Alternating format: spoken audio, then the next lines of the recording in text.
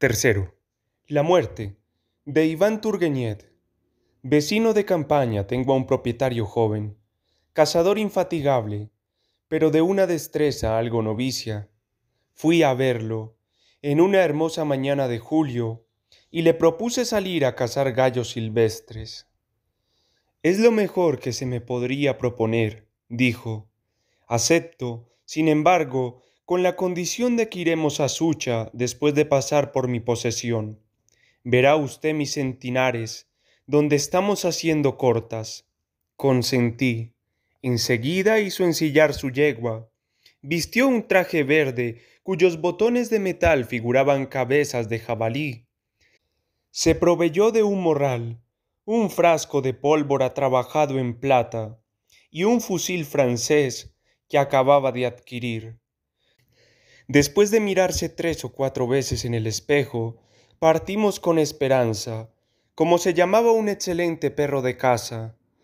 Seguía mi vecino Sudetchaski, hombrecillo rechoncho, cara cuadrada, espaldas anchas y espesas. Nos acompañaba también un intendente, individuo delgaducho y alto, de rostro estrecho, cuello de jirafa, rubio, míope, y afligido, además, por el nombre de Gottlieb von der Kotz. Mi amigo no tenía de siempre la posesión de esa tierra, sino heredada de una tía, la consejera Cardon Kartaev, mujer tan obesa que en los últimos tiempos de su vida le fue imposible caminar. Llegados a la posesión, marchamos a través del soto. Espérame aquí, dijo mi amigo, Ardalión a los que nos acompañaban. El alemán fue a sentarse a la sombra y abrió un libro sentimental de Juana Schopenhauer, y el de Siaskid permaneció montado y allí le vimos, al volver, pues no había cambiado de sitio. Dimos varias vueltas y rodeos sin descubrir cosa alguna, hasta que Ardalión Mikhailich me invitó a cruzar al entinar. Con mucho gusto le respondí, porque presiento que hoy no cazará nada. Volvimos luego al prado donde habíamos dejado a nuestros compañeros. Cerró el alemán su libro y mediante muchos esfuerzos pudo ahorcajarse sobre su yergua, reacia y mañosa. A la menor contrariedad tiraba coces y no valía más. Por otra parte, que el caballo del de este no llegó a dominar su cabalgadura, sino a fuerza de mucha espuela y latigazos. No me era desconocido el lugar. Durante mi infancia le visitaba con mi preceptor, Desiderio Fleurid. Este bosque de Chapliguina no era muy considerable, pero los árboles habían alcanzado una altura prodigiosa. Doscientas o trescientas encinas alternaban con fresnos gigantes. Sus grandes copas negruzcas se recortaban con la nitidez de los avellanos y de los cervales. Sus últimas ramas remataban en un ramo de hojas verdes, y allí planeaban gavilanes y mochuelos. En la profundidad de este follaje espeso, otrora el mirlo silbaba alegremente, las urracas golpeaban con el pico la corteza de los árboles, las currucas diminutas gorjeaban en las ramas bajas, verdes y frescas, sin temor a las liebres que furtivamente atravesaban los setos. Una ardilla, a veces, asomándose, lucía su pelaje rojo amarillento y su cola empenachada. Entre los helechos había lirios que mezclaban su aroma al de las violetas, cerca de las fresas coloradas y perfumadas. Chapliguina me gustaba, por la delicia de su reposo, hasta en los más fuertes calores. Una atmósfera transparente nos envolvía con su embalsamada frescura. Horas de encanto había yo pasado en este bosque, horas de poesía y de ensueño. Por eso fue grande mi pena cuando ocurrieron los desastres causados por el invierno de 1840. Mis viejos amigos, los grandes árboles, las encinas y hayas, estaban caídos en tierra. Estos príncipes, reyes de la naturaleza, se pudrían como cadáveres de viles animales. Otros, heridos por el rayo, perdían su corteza. Aún conservaban algunos vestigios de juventud, pero ninguno tenía su pasada magnificencia. Lo que me parecía más extraño es que ya no hubiese sombra en el bosque de Chaplingua. Estos nuevos titanes, víctimas de la cólera celeste, me llenaban de compasión, hasta les atribuía sentimientos. Repentinamente acudieron a mi memoria los siguientes versos de Kalsov. Di que te has hecho, voz ideal, fuerza orgullosa, virtud real. ¿A dónde ha ido? ¿Hacia qué nube? Tu fuerte savia que siempre sube. ¿Cómo? Pregunté a Ardalión. ¿No se cortaron estos árboles en 1841 o 1842? Han perdido ahora la mitad de su valor. Debiera usted haberle hecho esta observación a mi tía, me respondió. Muchas veces le ofrecieron comprarle esta madera, pero rehusó siempre. Mein Gott, mein Gott, exclamaba el alemán. Man, qué lástima, qué pena. Explicó el joven Teutón, en un lenguaje más o menos incomprensible, todo el sentimiento que le inspiraban los árboles muertos. Por lo que toca al Desyaskid, su indiferencia era absoluta, y se divertía en escalar los viejos troncos aguzanados. Íbamos a llegar al sitio donde se hacía la corta, cuando se levantaron gritos y cruzaron confusos rumores. Un joven, de pronto, pálido, el traje deshecho, salió de la espesura, a pocos pasos de nosotros. ¿Qué te ocurre? preguntó Milkailich. ¿A dónde corres así? Ah, señor, qué cosa más espantosa. Pero, ¿qué pasa? Habla, pues. El árbol, mi amo. El árbol aplastó a Máximo. ¿Cómo? el capataz, el adjudicatorio de los trabajos. Sí, padre, estábamos ocupados en cortar un fresno. Máximo nos observaba y nos exhortaba cuando la C le hizo acercarse al pozo. En ese momento mismo el árbol cedió. Le gritamos al capataz para que se apartase, pero ya era tarde. Dios sabe por qué cayó el árbol con tanta rapidez. ¿Murió enseguida? No, padre, pero tiene las piernas y los brazos quebrados. Corro a llamar al médico Celibestrit. Ardalión le ordenó que volase a la ciudad y volviese con un médico. En el sitio referido hallamos al pobre Máximo en tierra. Le rodeaban algunos campesinos. No se quejaba, pero no era difícil advertir la dificultad de su respiración. En sus ojos había una mirada de asombro, un rictus en sus labios amoratados. La penumbra de un tilo envolvía su cara con cierto tinte mortuorio. Pudo al fin reconocer a Ardalión. Penosamente habló. Ah, padre, envía a buscar al sacerdote. Dios me ha castigado. Hoy domingo trabajé con mis hombres. Por eso estoy castigado.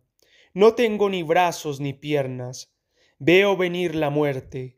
Si me queda dinero, que se lo den a mi mujer, después de pagar mis deudas. Siento que todo ha concluido. Perdóname.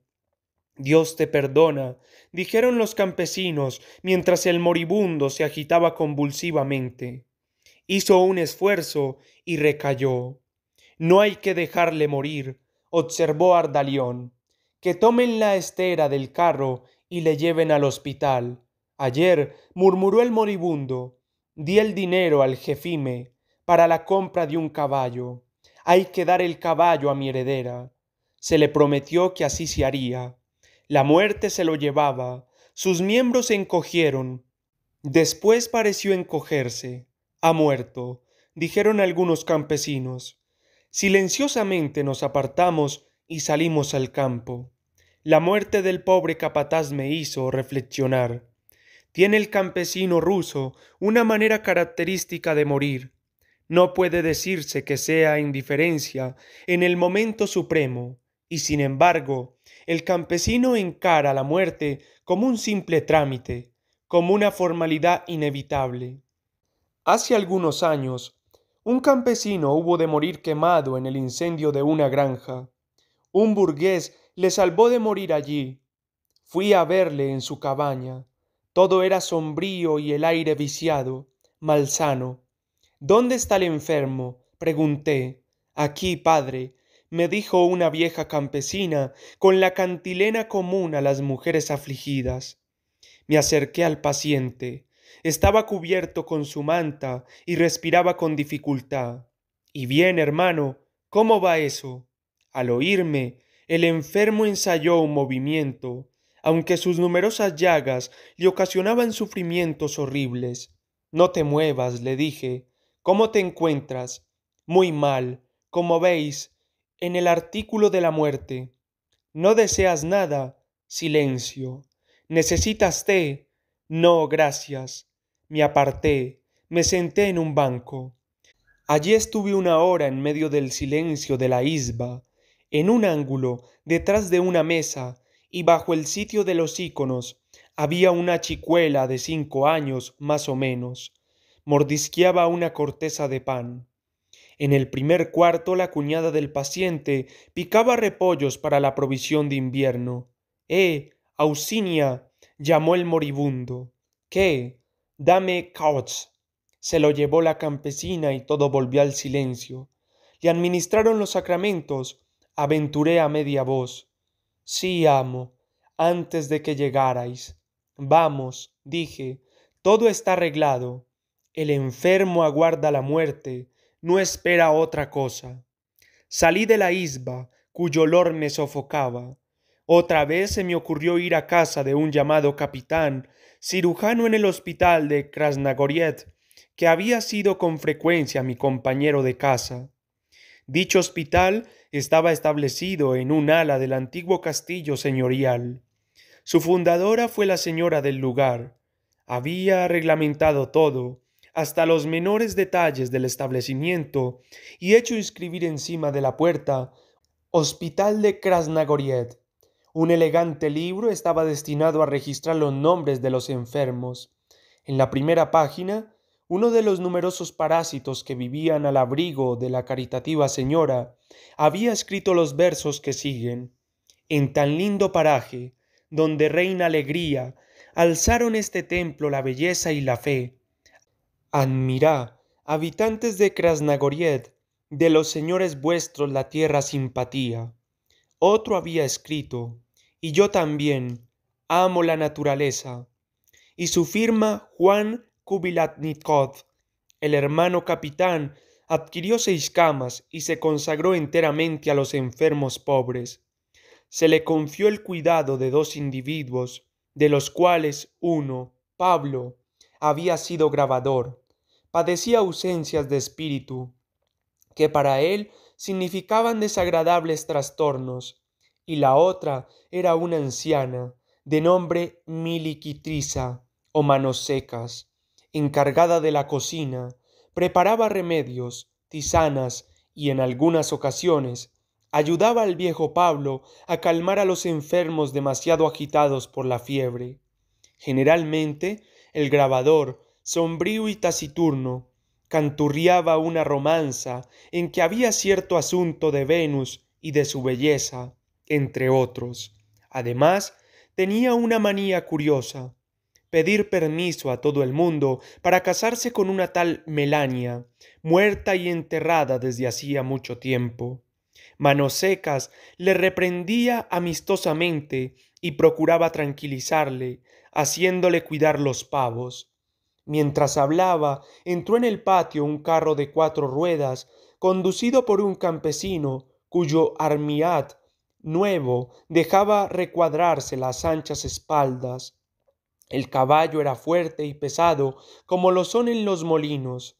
Ah, buen día, Vasili Dimitrich, gritó el frater capitán desde la ventana. Muy bienvenido. Y me advirtió es el molinero de Leonovich.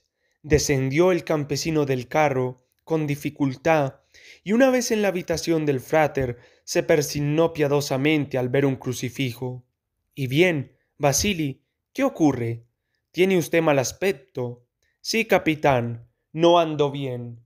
¿Qué le sucede a usted? Me sucede esto. Hace poco fui a la ciudad a comprar piedras de moler y las llevé al molino. Quise descargarlas sin ayuda.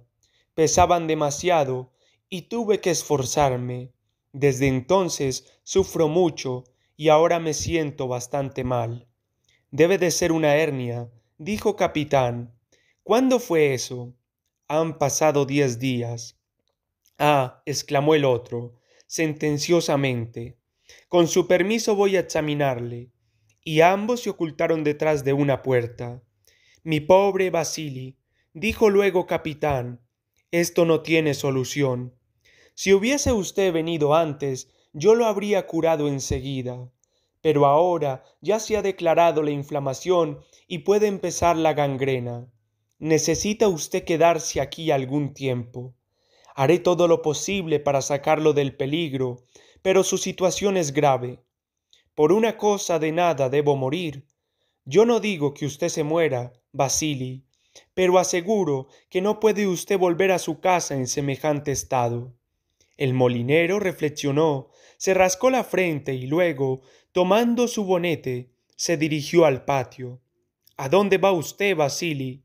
Al molino. Si debo morir, es preciso que arregle algunos asuntos. Se arrepentirá usted. Ni siquiera comprendo cómo pudo llegar hasta aquí. Se lo ruego, quédese. No, hermano capitán, prefiero morir en mi casa. Es un caso gravísimo, Basili. Le aseguro que debe usted quedarse. No, no, vuelvo a casa. Prescríbame alguna droga, algún remedio y nada más. No se conseguirá nada solamente con pociones. Estoy decidido, me voy. Ojalá no tenga usted que arrepentirse. Tome esta receta. Sacó el molinero cincuenta copets, los entregó al enfermero y subió al carro. Adiós, dijo. Acuérdese usted bien de mí. No abandone a mis huérfanos si por acaso. Quédese usted, crea lo que le digo. El campesino se limitó a hacerle una señal con la cabeza, castigó su caballo y salió a la calle grande, mal pavimentada y llena de baches. Basili procuraba evitar las sacudidas, saludaba alegremente a sus conocidos y nadie pudo sospechar que moriría al día siguiente. Ya lo dije, el ruso encarna la muerte de una manera particular. ¿Cuántos ejemplos podría traer el caso? Me acuerdo de ti, Avenit Sorokunov, que fuiste mi mejor amigo.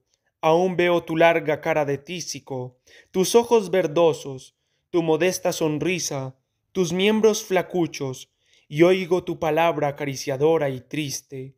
Vivías en casa de un señor, gran rusófilo, Gur Kupirovkov, donde educabas a sus hijos soportabas con paciencia angélica las burlas del señor Gur, las descortesías del intendente, las amargas molestias que te causaban tus alumnos.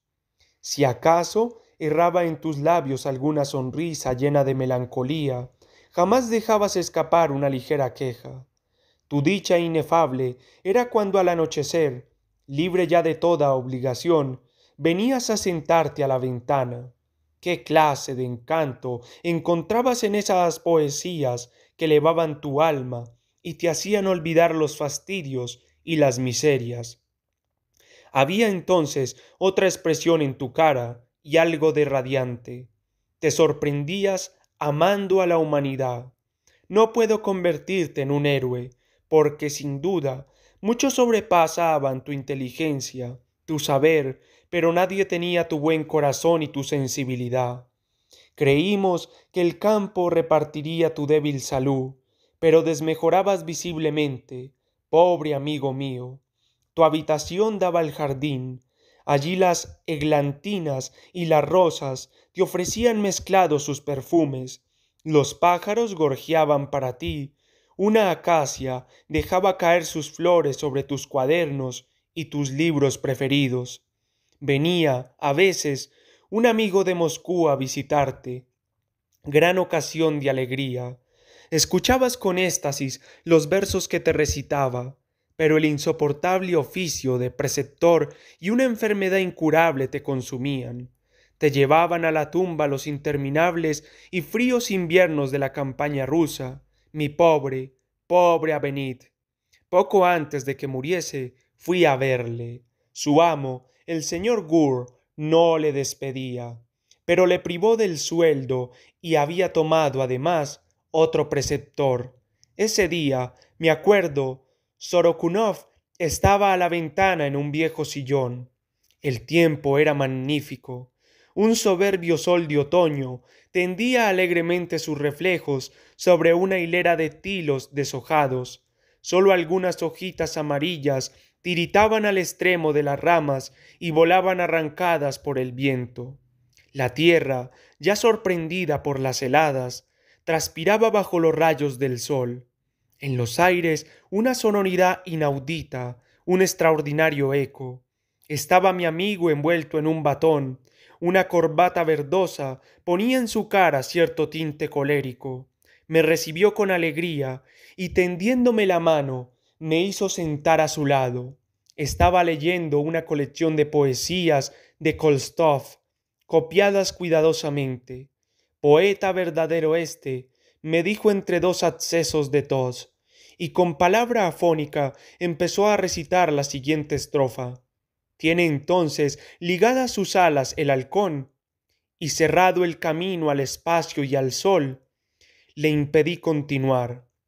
El médico le había prohibido hablar, aunque no seguía el movimiento científico y literario de la época, le interesaba algo el porvenir del mundo. Particularmente llamaba su atención la filosofía alemana. Le hablé de Hegel y le hice una exposición de su sistema. Sí, reflexionó. Comprendo. Grandes ideas, grandes ideas. Esta curiosidad infantil de un hombre a la muerte, de un infeliz abandonado, me conmovió hasta las lágrimas. Sorokunov no se hacía ilusiones sobre su estado. Sin embargo, Nunca se quejaba de sus sufrimientos. Procuré distraerle. Conversamos de Moscú, de la literatura rusa, de nuestros comunes recuerdos de juventud. Hicimos memoria de amigos difuntos. ¿Te acuerdas de Dacha? dijo al fin. Qué alma tenía y cómo me quería. ¿Qué será de esa hermosa flor? Tal vez habrá enfermado la pobre. Yo le dejaba la ilusión y no le daba noticias de Dacha. Festejada, adulada por comerciantes ricos, solo soñaba con joyas y coches. ¿Acaso, pensé, su enfermedad no es incurable y se le podría sacar de aquí? Adivinó mi pensamiento. Te advierto que no llegaré al invierno. No hay que incomodar a nadie. Además, estoy acostumbrado a esta familia. No tienen corazón, le respondí. Sin embargo, no es gente mala, algo brutos tan solo. Por lo que se refiere a los vecinos, uno de ellos, el señor Casaquín, tiene un encanto de hija, instruida ella. Un acceso de tos le cortó la palabra. Si pudiese siquiera fumar, pero ni eso. Debieras escribir a tu familia. No, sería inútil. Cuando haya muerto lo sabrán. Le hice algunos relatos que le interesaron vivamente. Por la noche nos separamos. Ocho días después me llegó una carta del señor Gur en estos términos. Debo anunciaros, señor, que vuestro amigo Asorokunov ha entregado su alma a Dios el jueves pasado y que esta mañana se le enterró a mi costa en el cementerio de la iglesia. Conforme a sus últimos deseos, os envío sus libros y cuadernos de poesías. Le quedaban veintidós rublos y cosas que remitimos a sus herederos. Ha muerto en una especie de insensibilidad hasta al despedirse de nosotros. Mi esposa Cleopatra os saluda. Le fatigó mucho los nervios la muerte de vuestro amigo. En cuanto a mí, me gobierno la salud y me reitero vuestro muy humilde servidor. Kurnikov. Otros hechos análogos me acuden a la memoria, pero los dichos son suficientes. Sin embargo, uno es bastante curioso y merece añadirse. Una vieja propietaria murió en mi presencia no hace mucho tiempo. En pie, a la cabecera de su cama, el sacerdote decía las oraciones de los agonizantes. Al cabo de algunos minutos, notando que la enferma ya no se movía, la creyó muerta y acercó a su boca un crucifijo. No tan rápido, espere, balbució la vieja. Metió una mano bajo la almohada. Cuando la amortajaron, se encontró bajo su almohada una moneda de plata. Se había propuesto pagar ella misma al sacerdote que le administrase la extrema unción. Sí, los rusos tienen una extraña manera de morir.